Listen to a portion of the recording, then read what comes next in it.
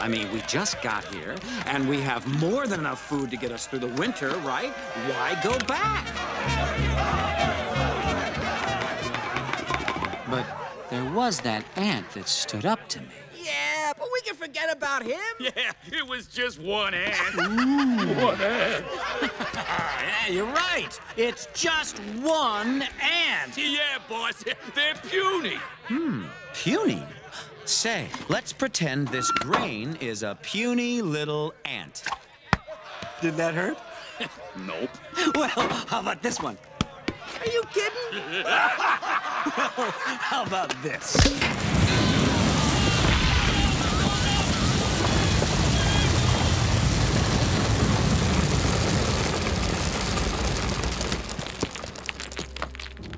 You let one ant stand up to us, then they all might stand up.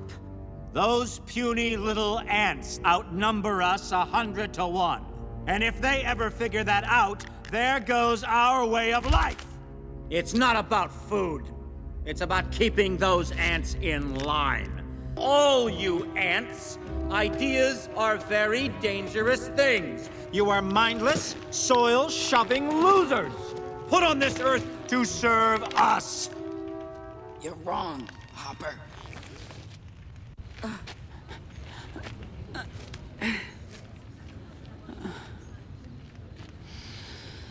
Ants are not meant to serve grasshoppers.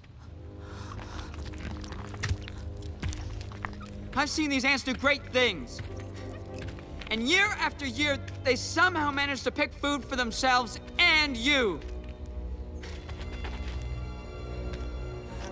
So, who is the weaker species? Ants don't serve grasshoppers. It's you who need us.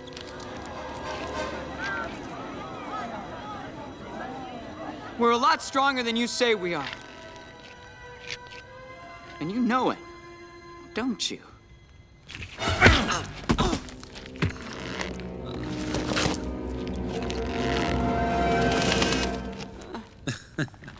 Well, Princess. Um, Hopper, um, I, I hate to interrupt, but, um...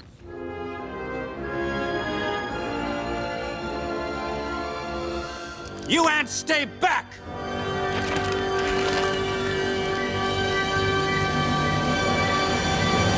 Oh, this was such a bad idea. You see, Hopper, nature has a certain order. The ants pick the food, the ants keep the food, and the grasshoppers leave. か